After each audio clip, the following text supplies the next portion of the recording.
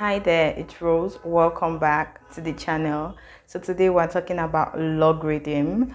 Okay, what is the connection that logarithm has with indices and why do we always talk about logarithm after talking about indices? Or why do we talk about indices before talking about logarithm? I'll answer all your questions today, okay? So logarithm can also be called log. In most cases, you hear log. You see log on your calculator, you see log on your question papers, and a lot more. You barely see the word logarithm. We're talking about the same thing, just a shorter form for logarithm. This word, that's the word I'm talking about.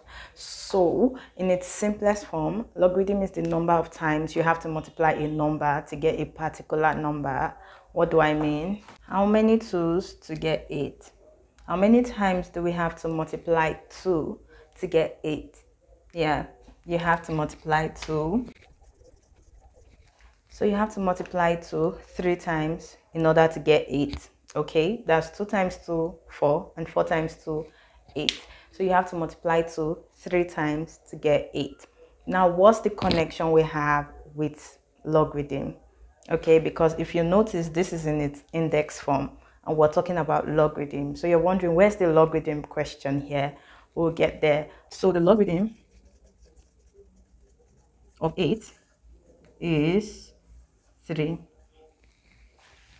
right how many times did we have to multiply 2? We had to multiply 3 times to get 8. So the logarithm of 8 to base 2 is 3. What do I mean?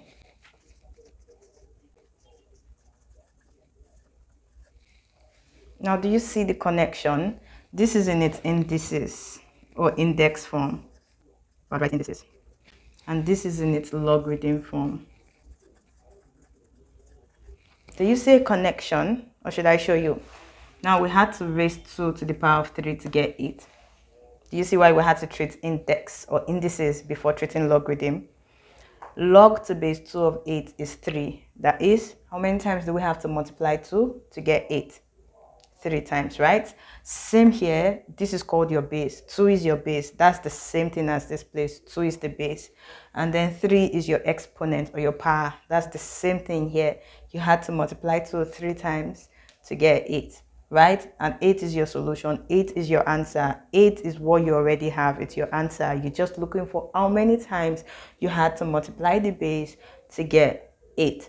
The more solutions we solve, the more you will get it. So please do not be confused. But this is the connection that indices has with logarithm. That is why we had to always treat indices before treating logarithm. So now I want you to note something here.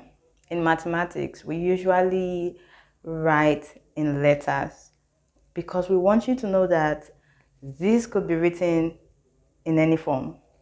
It could be two, three, four, it could be any variable, it could be any number. So we would rather represent it with a letter to generalize it. Do you get? We're not trying to confuse you with X, Y, Z and the rest. We're just trying to let you know that the number could change. So there is no particular number that it's representing. Do you understand? So it's like this is its general form, meaning it could be two three, four, and so on. Okay, this is the index form, if you remember, and this is the logarithm form. So I want to show you its connection. You see that the base here is the base here, right? And you see that the exponent here is the exponent here, right? And you see that this solution is this solution. So how do we call this thing? I'll let you know. Now you can say log to base A of y is x.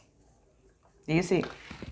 And somebody else would tell you log y to base a is x, right? You could say it anyway. Just know that this is your base, this is what you're working with, and this is your solution.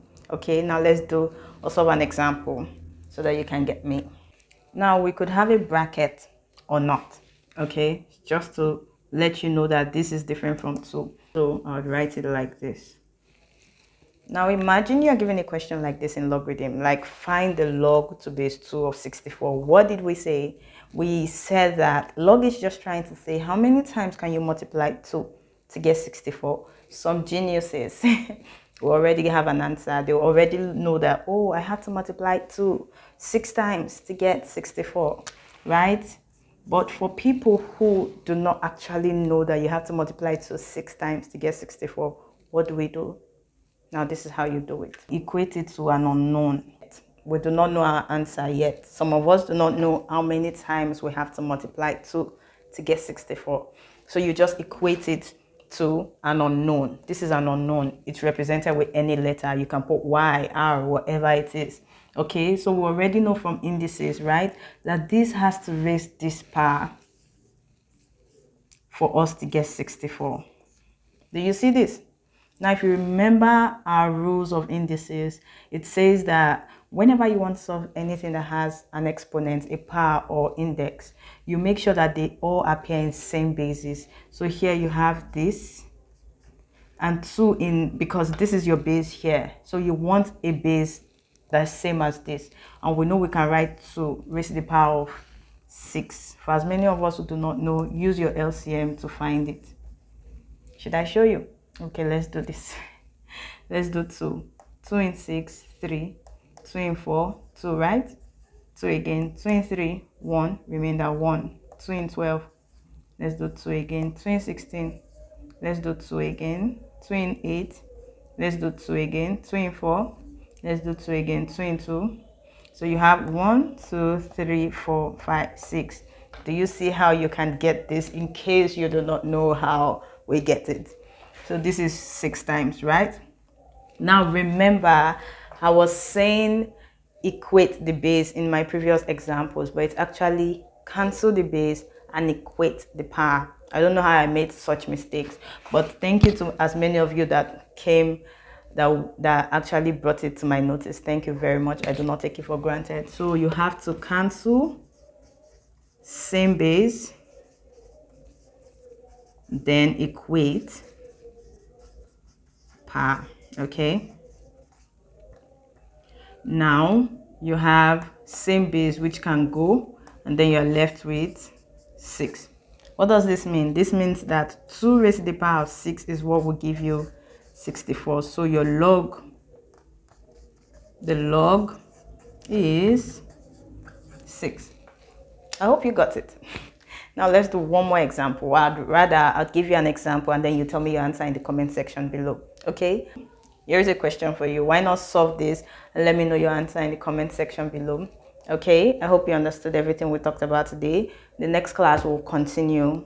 With logarithm more examples and more things you have to know about logarithm so until next class. Bye